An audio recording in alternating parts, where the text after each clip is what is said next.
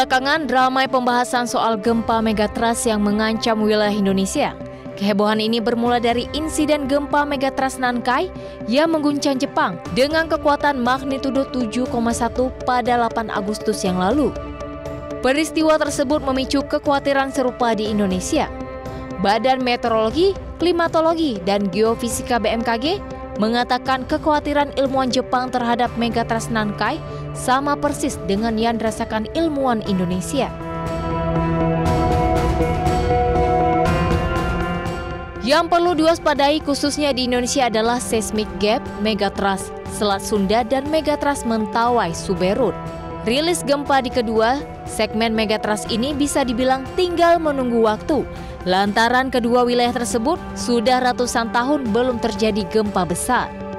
Meski begitu, BMKG mengklarifikasi, waspada megatrust bukan berarti gempa megatrust akan segera menimpa Indonesia dalam waktu dekat. BMKG juga mengatakan masyarakat tidak perlu khawatir karena BMKG sudah menyiapkan sistem monitoring, processing, dan diseminasi informasi gempa serta peringatan dini tsunami yang makin cepat dan akurat sebagai langkah antisipasi dan mitigasi. Meski saat ini belum ada teknologi yang bisa memprediksi gempa, namun BMKG dapat memodelkan tsunami yang bakal terjadi serta mengetahui dampaknya dengan menggunakan sistem Inatus, Indonesia Tsunami Early Warning System. Sistem tersebut dapat membantu BMKG segera menyebarluaskan informasi gempa bumi dan peringatan dini tsunami di seluruh wilayah Indonesia. Seperti diketahui, zona megatrust merupakan pertemuan antar lempeng tektonik bumi di zona subduksi, yakni titik di mana satu lempeng meluncur ke bawah lempeng lain yang biasanya ada di lautan yang dapat mengakibatkan gempa besar dan tsunami raksasa. BMKG meminta masyarakat Indonesia untuk tidak panik dan salah paham atas munculnya peringatan terkait potensi gempa megatrust di tanah air. Tujuan utama BMKG mengingatkan potensi gempa megatrust adalah untuk mempersiapkan masyarakat Indonesia bukan justru menakut-nakuti.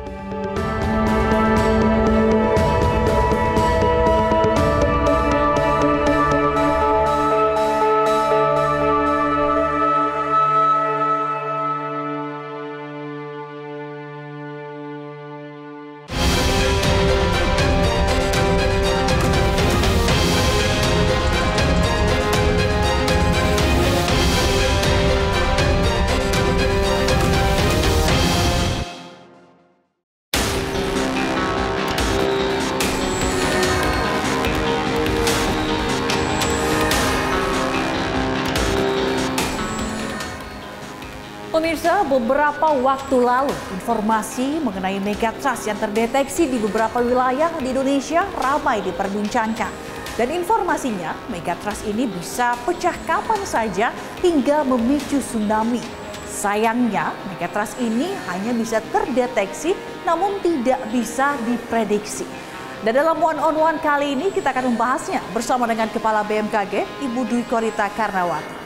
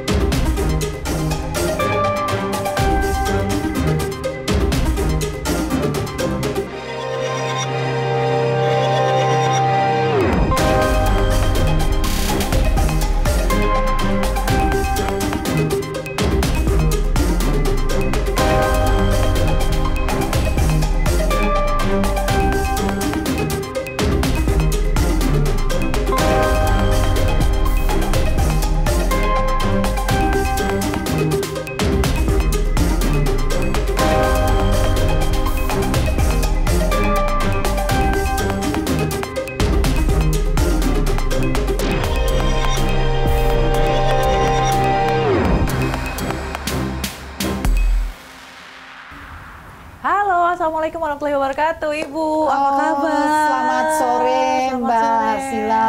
ya Sehat, Bu? kabar baik. Alhamdulillah, Mbak. Bagaimana? Tampak cerah. Sama Ibu juga tampak cerah ya. Alhamdulillah. Alhamdulillah. Ini Ibu lagi lihat-lihat apa nih Ibu kita ganggu nih? Ini sedang mencermati Megatrust. Megatrust. Ya. Oke. Oh, ini emang ruangan untuk eh, biasanya apa namanya eh, melihat begitu ya Bu ya atau mengamati atau Ah, gimana Bu? Di sini sebenarnya ruangan yang disebut library cafe. Wih, Eh, keren ini di cafe tapi cafe library. Oke. Dan ya namanya belajar mau belajar apa pun Hmm. termasuk termasuk Megatrust kan bisa di library cafe juga. Oke, Ya. keren juga ya. Padahal kan BMKG kan kantornya apa namanya pemantauan uh, Iya. cuaca gitu-gitu, tapi Iya. punya library cafe keren banget ibu. Terima tapi kasih. pas banget karena ibu lagi Ah. ngeliat Megatrust ini gitu ya. Iya. Megatrust eh, soal atau informasi mengenai Megatrust ini kan lagi ramai diperbincangkan gitu ya bu ya beberapa hari ini gitu ya. Mungkin ibu kita bisa eh, geser Oh lihat baik. Ya sebetulnya ada beberapa Hmm. penjelasan ya. Tapi agar lebih enak, bisa nggak kita sambil duduk eh, bincang-bincang di sini ya? boleh, boleh, ya, boleh, Di baik. library cafe kita ya. Baik. Silakan Mbak. Baik, terima kasih, Ya, Ibu. mari.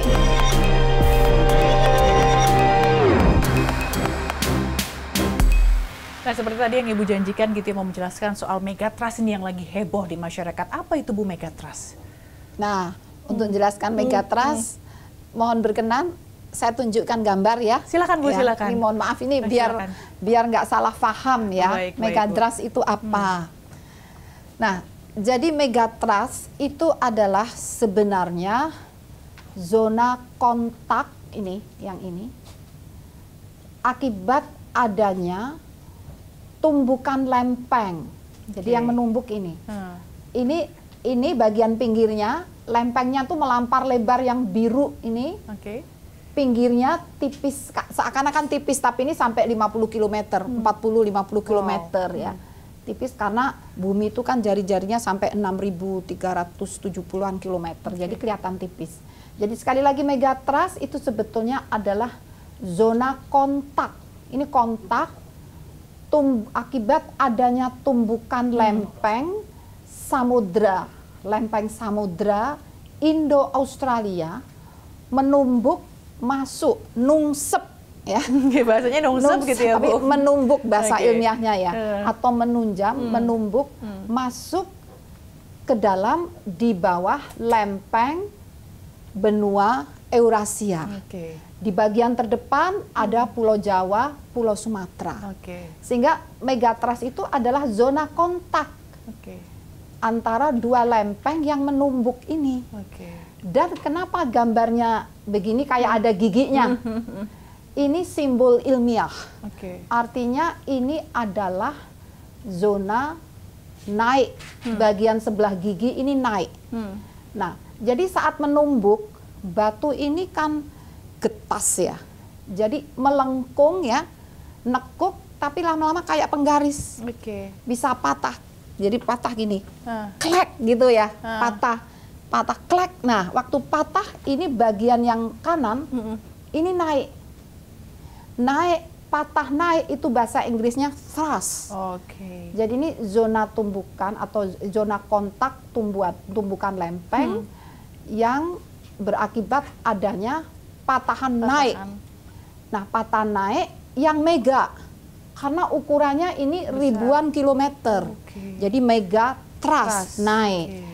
Apa bahayanya ya? Kenapa harus diwaspadai? Hmm.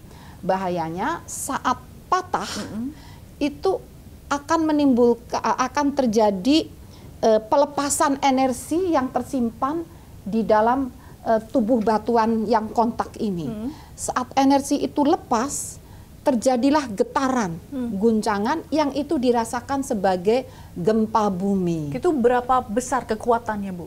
Nah, sebetulnya Oke. Tidak langsung patah. Hmm. Jadi sedikit demi sedikit ya, ada robek dikit ya. Hmm. Nah, itu kekuatannya bisa rendah, Hmm. katakan 5, 4 ya. Bisa eh, tidak harus kekuatannya mega. Hmm. Jadi di gempa di sini tuh tidak harus sampai 9, tidak harus. Jadi bisa bervariasi. Yang berbahaya apabila kekuatannya itu sampai di atas 7 di atas 7 bahkan di waktu tsunami Aceh itu juga akibat fenomena yang sama tapi magnitudenya magnitudo kekuatannya itu sampai 9 lebih 9,1.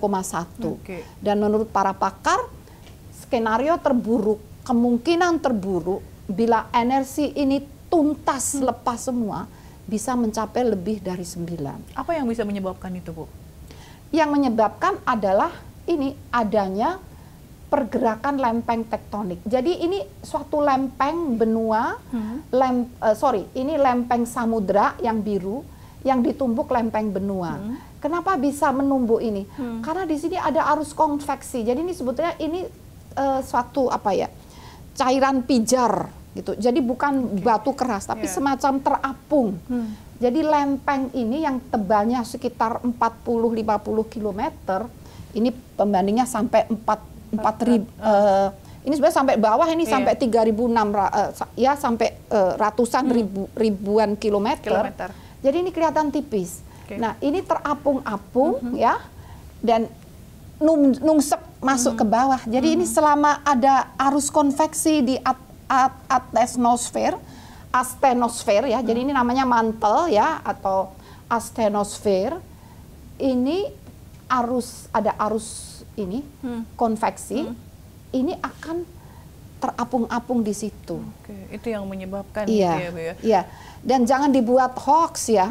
Ini bukan berita istimewa. Oke.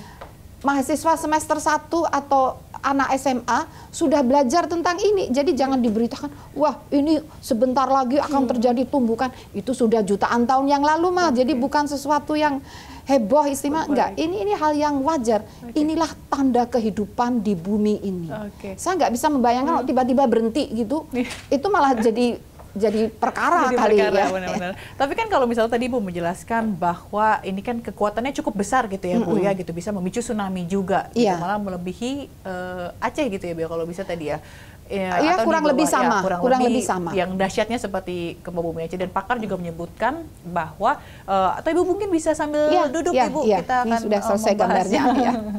Jadi kalau misalnya tadi eh, disebutkan bahwa kekuatannya yang cukup besar dan tadi dampaknya, tapi pakar juga menyatakan bahwa ini terdeteksi tapi tidak bisa diprediksi. Bagaimana Ya. mengatasinya?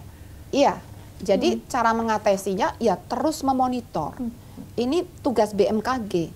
Sejak terjadinya eh, gempa dan tsunami Aceh tahun 2004, di tahun 2006 mulai dibangun sistem monitoring gempa bumi dan peringatan dini tsunami untuk mengantisipasi terjadinya gempa megatrust dan tsunami seperti di Banda Aceh. Oke. Dan, jadi caranya terus melakukan monitoring. Seperti saat ini BMKG terus memonitor eh, gempa-gempa yang terjadi di me- megatrust tadi. Mulai dari yang kekuatannya lemah, kurang dari 5, sampai yang kekuatannya eh, katakanlah sampai 7 gitu ya.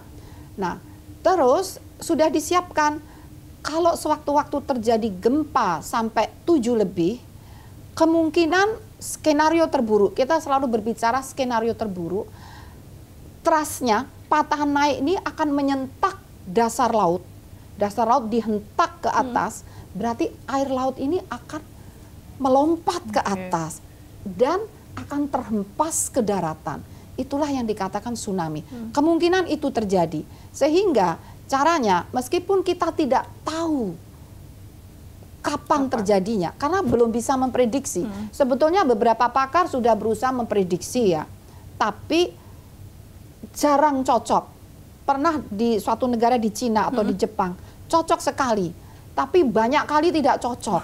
Jadi secara ilmiah itu namanya bukan memprediksi. Prediksi. Kalau melesetnya banyak itu namanya bukan prediksi. Nah, karena itu sulit diprediksi, maka itulah sebabnya kita harus memitigasi, Oke. bersiap-siap seandainya itu terjadi, kita harus bisa yang diprediksi adalah akankah terjadi tsunami atau tidak. Kalau akan terjadi tsunami, masyarakat ini harus sudah siap, dilatih agar sewaktu-waktu sudah siaga, siap kalau ada tsunami. Misalnya, sudah disusun peta-peta rawan tsunami, disusun peta-peta rawan gempa bumi, ada zona merah, ada zona aman. Peta itu gunanya selain untuk peta evakuasi, tapi yang penting juga adalah tata ruang. Jadi pemerintah daerah dengan adanya peta-peta bahaya diminta apa diingatkan untuk mem- menyusun tata ruang yang yang eh, aman bencana. Jadi hindari zona merah. Membangun jangan pas di bibir pantai ya kalau ada apa-apa kan Ya. ini. Kalau terpaksa harus di pantai, bangunannya harus tahan gempa. Jadi ada building code mencapai kekuatan gempa kalau di Jawa ini bisa mencapai 8,7. Oke. Jadi harus dibangun sekuat itu Oke. agar tidak roboh, Oke. bahkan bisa untuk shelter untuk evakuasi sementara Oke. tsunami. Itu tadi yang Bu sampaikan adalah mitigasi Ya. begitu ya dan harapannya tentu amit-amit jangan sampai terjadi gitu ya Bu ya. Tapi kalau misalnya ya. dari pengamatan BMKG yang Ibu eh, sebutkan bagaimana masyarakat harus belajar untuk melakukan mitigasi itu apakah kemungkinan akan terjadi dalam waktu dekat? Karena kan kalau tadi Ibu bilang juga sebenarnya ini udah udah dibahas, dipelajari bahkan sama mahasiswa bahkan dari eh, puluhan tahun yang lalu gitu dibahasnya. Nah, itu sekali lagi namanya juga tidak bisa memprediksi ya. Jadi kita yang nggak bisa menjawab apakah akan terjadi dalam waktu dekat. Namun para pakar dan juga BMKG berpikir adalah daripada repot-repot nebak-nebak, Bo, ya sudah kita siap-siap aja ya. Insya Allah ya mohon maaf ini biasanya kalau siap itu malah nggak terjadi. terjadi itu kalau kita nggak siap ya, sambil berdoa ya. Iya, jangan sampai ya, Bu, ya, amit-amit. Iya, jadi daripada meributkan kapankah akan dalam apa apa akan ada terjadi dalam waktu dekat, mari kita cek dulu rumah kita ini udah tahan gempa nggak, ya. Tata ruang kita ini ya ini dengan pemerintah Iya, daerah, tata iya, ruang iya. kan pemerintah daerah. Nah, jadi lebih baik bersiap apabila terjadi gempa jangan sampai terjadi korban jiwa. Jadi udah ada latihan-latihan untuk melindungi diri, menyelamatkan diri seperti itu. Tapi sosialisasi ini udah Ibu sampaikan ya dengan pihak-pihak terkait. Karena kalau kita lihat beberapa kali kejadian gempa gitu di Indonesia, ya itu tadi kalau giliran kita sudah siap malah nggak terjadi, tapi giliran kita tidak siap itu justru Iya. malah terjadi gitu kan. Iya, Yang udah-udah i- itu- banyak korban berjatuhan gitu. Iya, iya, Eh, betul. Jadi makanya itulah sebabnya BMKG tidak sendiri bersama Badan Penanggulangan Bencana Daerah dengan LSM dengan perguruan tinggi setempat dan di, eh, dengan BNPB terus mengencarkan sosialisasi antara lain melalui sekolah lapang gempa dan tsunami. Dan kami menyediakan ada game ya, game untuk kesiapsiagaan gempa dan tsunami itu ada kayak permainan apa dulu zaman kita anak-anak itu aduh lupa itu apa. Apa, Bu? Eh, yang dilempar pakai dadu terus monopoli, Oh, monopoli, eh, itu oke, itu ada. Oke. kemudian juga dengan permainan-permainan dengan lagu-lagu untuk TK ya orang dewasa juga boleh ya. Itu kita siapkan dan kita ada ini nanti silahkan dibawa juga video-video dengan film kartun Oh, ya jadi sosialisasinya dengan cara apa dengan namanya cara seperti yang visual, iya, visual audio jadi vi- lebih visual. gampang gitu ya untuk Iya, bisa ngerti iya, gitu ya. uh-uh. Tadi kalau ngomongin soal dampak dan juga pengertian dari megatrust, potensi mana saja Bu Eh, daerah-daerah yang berpotensi untuk terjadinya megatrust ini? Nah, sebetulnya ada gambarnya. Jadi zona tumbukan tadi itu kan terjadi mulai dari sebelah barat Pulau Sumatera, terus melampar turun sampai ke eh, Sumatera Selatan, lalu membelok melewati selatan Selat Sunda dan terus me- apa, melampar sam- dari eh, lewat eh, selatan Pulau Jawa. Ini radiusnya kira-kira pada jarak 250 km ya. Oke. Terus sampai Nusa Tenggara Timur, terus sampai Nikung masuk ke Laut Banda. Nah, jadi zona-zona yang perlu diwaspadai terutama di sepanjang Sumatera Barat, pantai Sumatera Barat ya, termasuk eh, maksud saya pantai barat Sumatera Oke. dari eh, Medan eh, dari Sumatera Utara terus ke tengah ke selatan ya dan pantai selatan Jawa. Oke. Nah, dan ini zona megatrust ini tidak utuh satu, tapi eh, terbagi menjadi 13 segmen. Oke. Nah, di antara 13 segmen, yang 11 itu sudah sudah melepaskan energi. Jadi periode ulangnya itu masih cukup lama. Oke, berapa lama? Nggak bisa ratusan tahun. Oh, Oke, jadi Nah, karena udah uh, meletus Iya. tadi jadi masih untuk dia eh, ulangnya lagi 200-an udah tahun. ah. Iya. Nah, namun ada dua segmen. Dua ini segmen yang ini. menurut pakar gempa ini dan BMKG, dua segmen yaitu segmen Mentawai eh, Siberut di Sumatera Barat Oke. dan segmen eh, Selat Sunda Banten ya di Selat Sunda. itu yang periode ulangnya sekitar 200-an tahun dan itu sudah tercapai tapi belum belum lepas. Oke, berarti ini nah, yang perlu diwaspadai gitu ya. Dari dua daerah tadi, dua ya. segmen ya, tadi ya Bu ya. ya Mentawai ya. Uh, Sebi, Se, Siberut, Siberut dan uh -huh. juga tadi di Selat Sunda, uh, Selat Sunda Banten. Banten ini ya. potensi uh, mana yang lebih besar potensinya untuk terjadi megatrust ini? Ya, kami melihat itu samalah Ya, dua Jadi itu dua yang potensi ini ya, yang ya. berarti fokusnya uh, untuk saat ini BMKG uh, di lebih dua. ke di dua segmen uh, ini gitu ya Bu ya karena ya, kemungkinan tanpa besar mengabaikan yang lain ya, ya karena ya cuma yang fokusnya yang, uh, yang prioritas iya, utama ya, prioritas itu. Utama.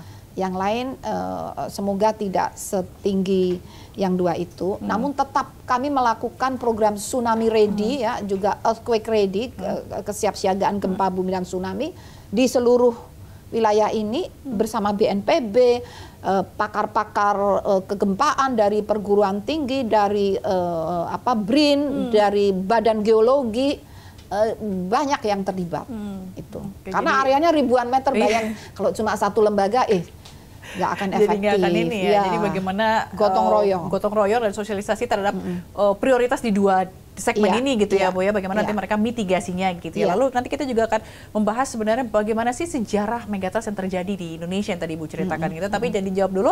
Nah, pemirsa jangan ke mana-mana tetap di One on One. Mm.